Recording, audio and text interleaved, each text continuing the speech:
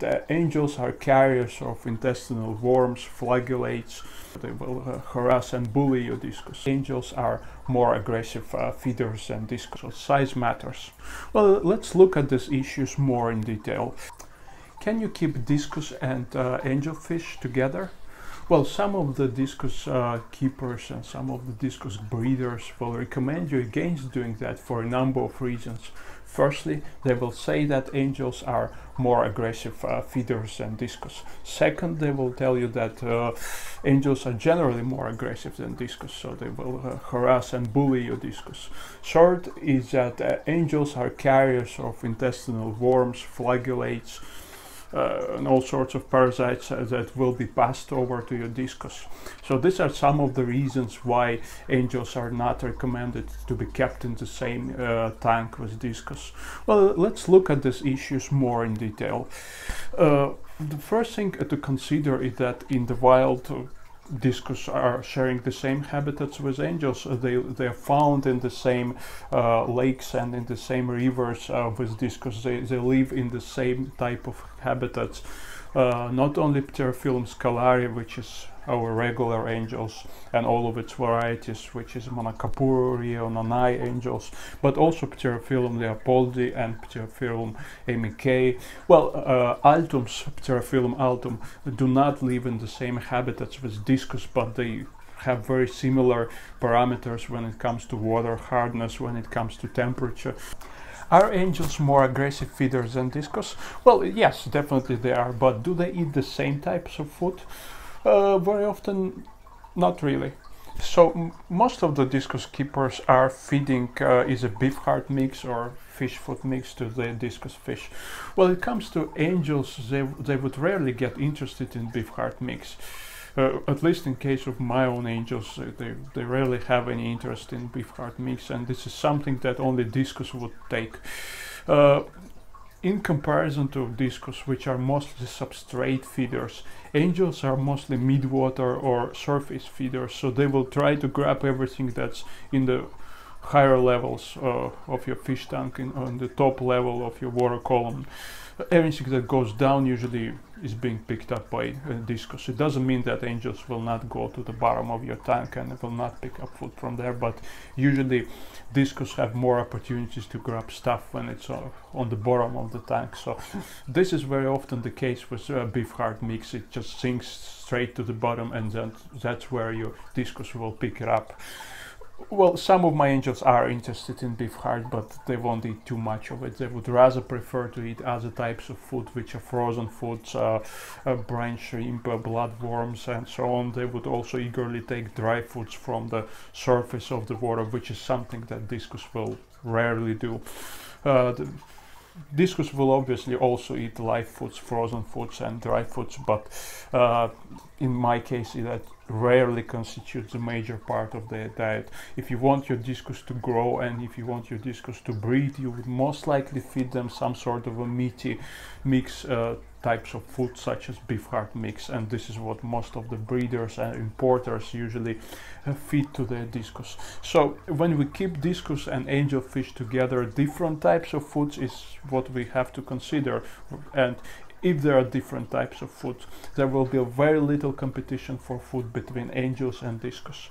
Are angels in general more aggressive than discus? Well, yes and no. If you have a breeding pair of angels in your tank and you have a group of discus in your tank, well, obviously you're calling for trouble because a breeding pair of angels will clearly harass any other fish in the tank. It doesn't matter whether it's a discus or not, they just need their own space.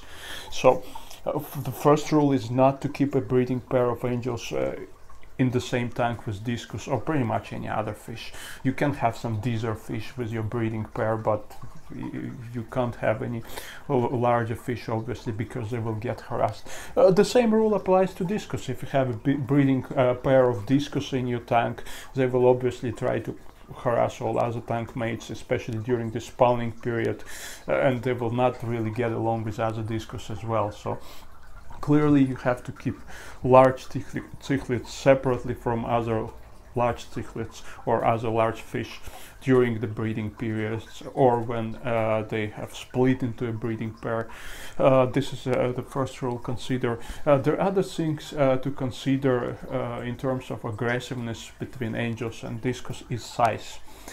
Clearly, if you have a group of larger angels and you have, you have a group of smaller discus, there is a possibility that angels will try to pick up on your smaller discus. So it's uh, highly advisable to, to have larger discus and smaller angels. Well, clearly your angels will grow with time, so they will probably match in terms of size with your discus. Although, well, clearly an adult discus will always be slightly larger than adult uh, angels in terms of the body mass.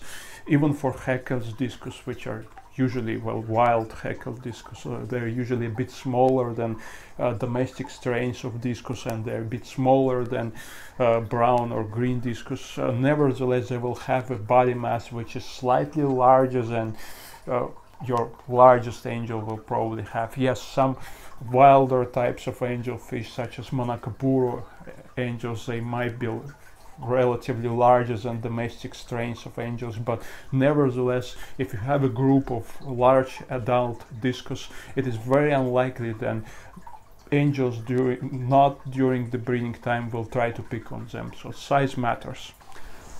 So one way to deal with uh, angelfish aggression or with this frequent uh, breeding and spawning uh, is uh, to buy wild types of angels or F1 or F2 generations uh, born from the wild parents.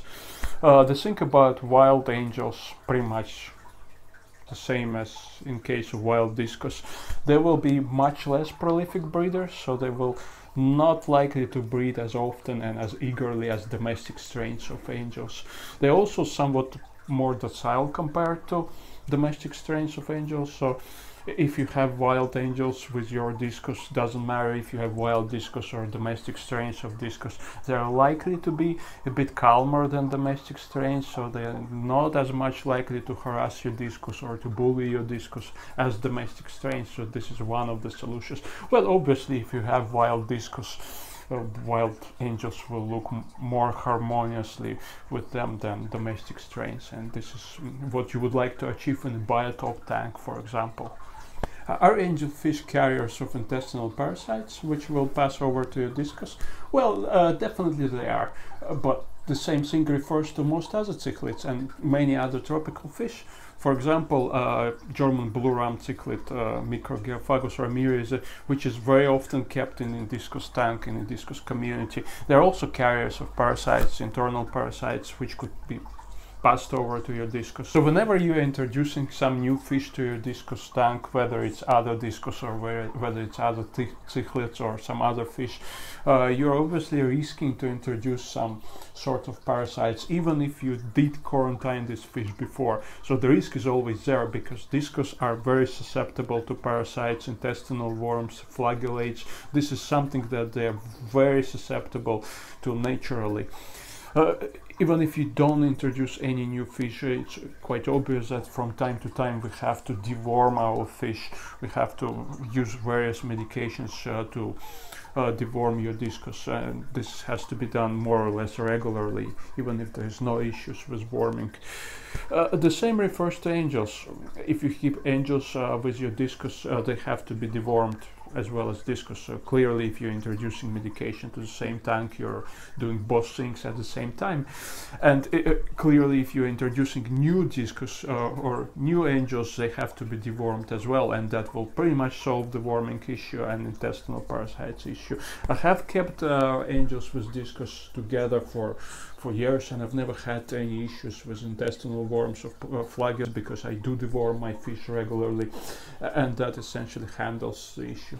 Well, uh, so these were some of the key challenges that you're likely to encounter when deciding to keep uh, angels and discus fish in the same community tank or in the same display tank. So I hope this video was useful and if it was, uh, do click that subscribe button or like button. Uh, there will be more similar videos to come in the near future.